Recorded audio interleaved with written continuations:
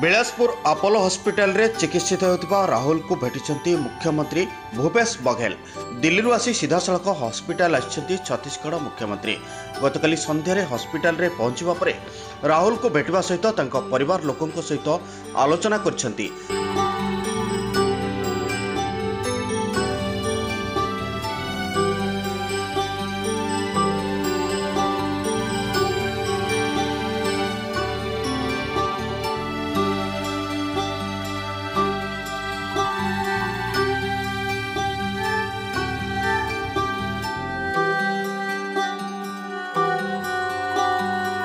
ମୁଖ୍ୟମନ୍ତ୍ରୀଙ୍କୁ ଦେଖି ଭାବବିହ୍ୱଳ ହୋଇପଡ଼ିଥିଲେ ରାହୁଲଙ୍କ ମା ମୁଖ୍ୟମନ୍ତ୍ରୀଙ୍କୁ ଧନ୍ୟବାଦ ମଧ୍ୟ ଜଣାଇଥିଲେ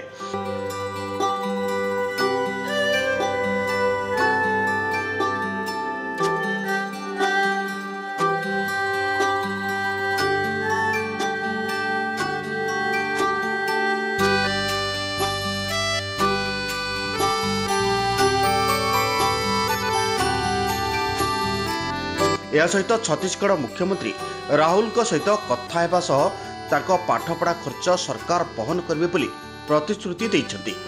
ରାହୁଲଙ୍କୁ ଉଦ୍ଧାର ବେଳେ ମୋବାଇଲରେ ଏହି ଦୃଶ୍ୟକୁ ଦେଖିଥିଲେ ଛତିଶଗଡ଼ ମୁଖ୍ୟମନ୍ତ୍ରୀ ଭୂପେଶ ବଘେଲ। ଅପରେସନ ରାହୁଲ ଆରମ୍ଭ ହେବା ଦିନଠାରୁ ଅର୍ଥାତ୍ ଶୁକ୍ରବାରଠାରୁ ଉଦ୍ଧାର କାର୍ଯ୍ୟର ମନିଟରିଂ କରୁଥିଲେ ଖୋଦ୍ ମୁଖ୍ୟମନ୍ତ୍ରୀ। ଜିଲ୍ଲାପାଳ ଓ ରେସ୍କ୍ୟୁ ଟିମ୍ ସହିତ ଯୋଗାଯୋଗରେ ରହିଥିଲେ ମୁଖ୍ୟମନ୍ତ୍ରୀ।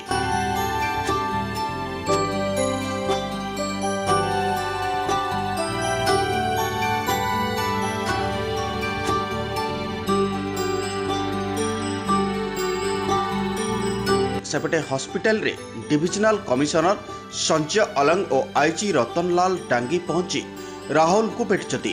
ରାହୁଲଙ୍କୁ ଚିକିତ୍ସା କରିଥିବା ଡାକ୍ତରଙ୍କ ସହ ଆଲୋଚନା କରିଛନ୍ତି।